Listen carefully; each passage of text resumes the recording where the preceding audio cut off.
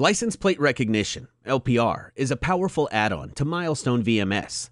It helps manage parking, prevents loss, regulates access, and assists in evidence gathering. In this video tutorial, you will learn how to set up an LPR camera in the XProtect management client. Under Servers, let's expand LPR Servers node. Then click LPR Cameras.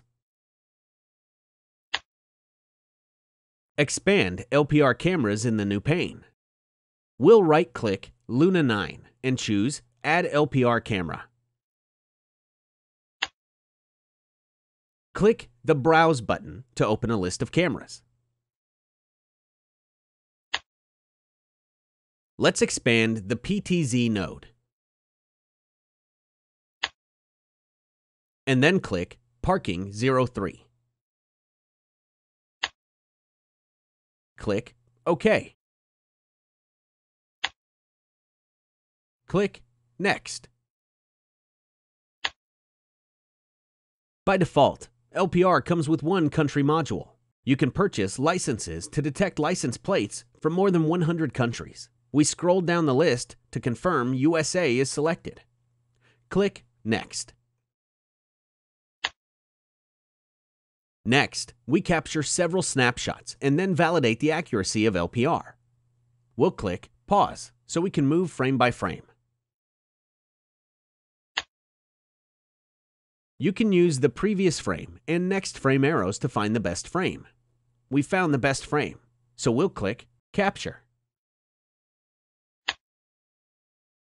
Click Live to continue viewing frames.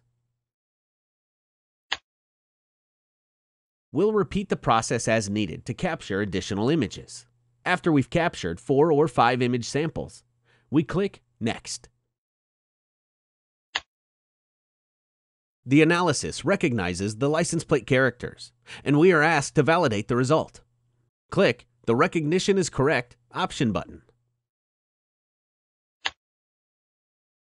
Click the forward arrow button to move to the next captured image. In some cases, the reading may be incorrect.